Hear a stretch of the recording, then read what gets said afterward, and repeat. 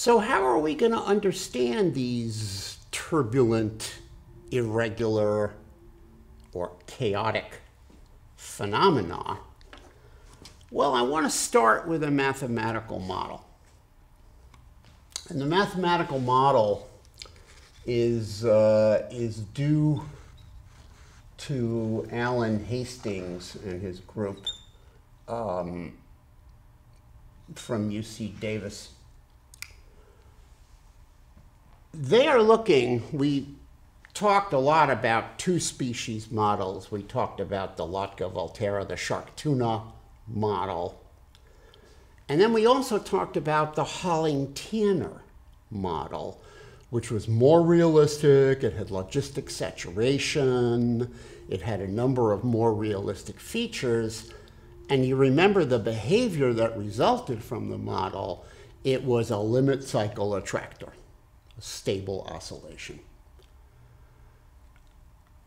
The Hastings model is a very interesting extension of the Holling-Tanner model because this is a model of a food chain.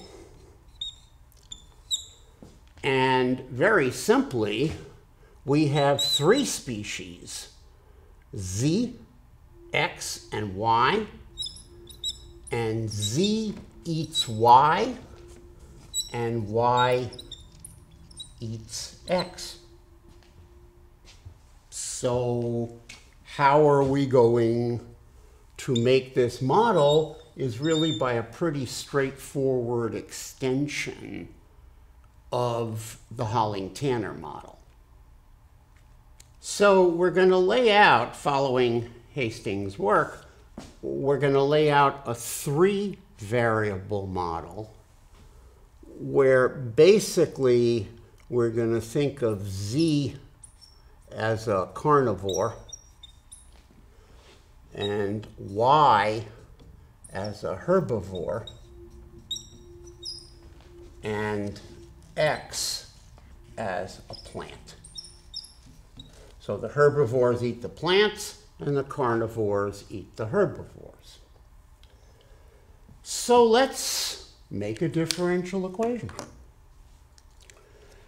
Let's start with the x variable, the plants. So the first thing we're going to assume is that the plants, in the absence of the herbivore, plants grow to a saturation, to a carrying capacity, and are limited by that. So we're going to have an Rx times 1 minus x over k, and that is plant growth.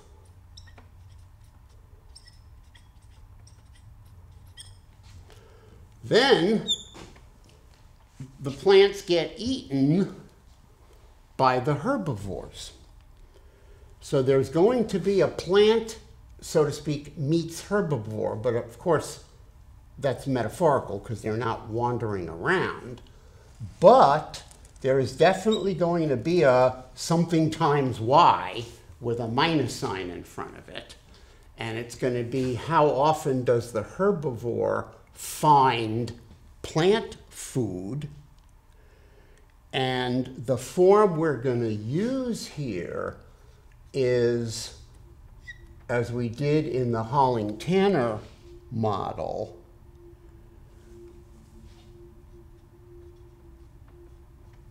it's ax over 1 plus bx, you recall that that's just a saturating function. And that says that the herbivores can't eat infinitely many plants. Their appetite for plants saturates. But that is the plant differential equation. Now we need the herbivore differential equation. And in the herbivore differential equation, of course, we want to take this herbivore eats plant and we want to put that in the herbivore equation with a plus sign in front of it instead of a minus sign. And of course, the question is how many plants does it take to support one herbivore? And I'm going to call that quantity C.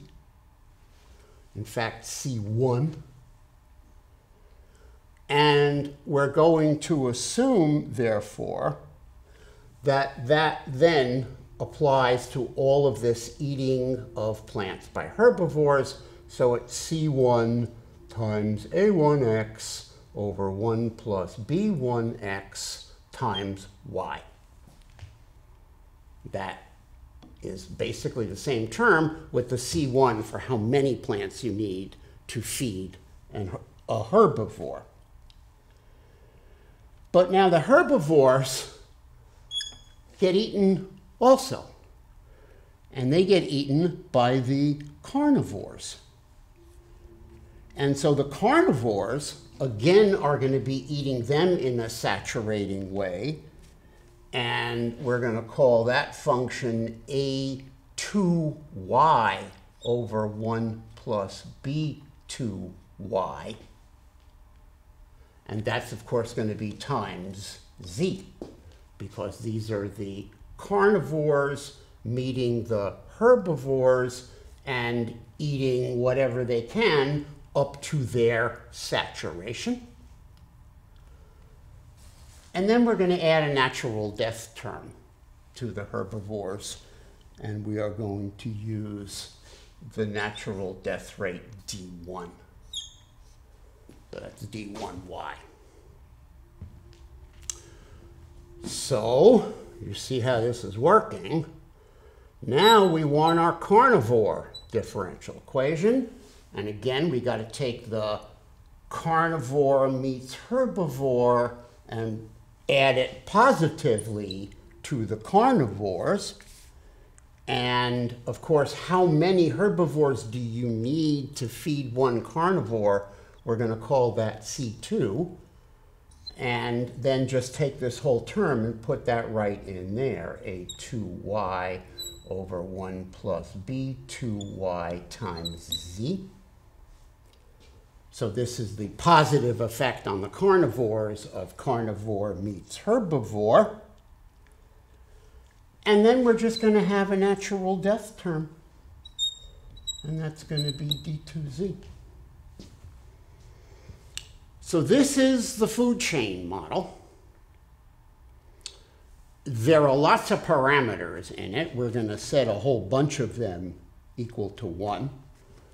Uh, we're going to set R and K and C1 and C2 all equal to 1 to get them out of this equation and we're going to deal with the resulting three variable differential equation. So the next question is, what behavior follows from this model? And the answer is very interesting. First of all, you can sort of see, beginning to see the outline just by staring at the equations X and Y are in a sort of a Holling-Tanner two variable oscillation with each other. And then Y and Z are in another two variable Holling-Tanner oscillation with each other.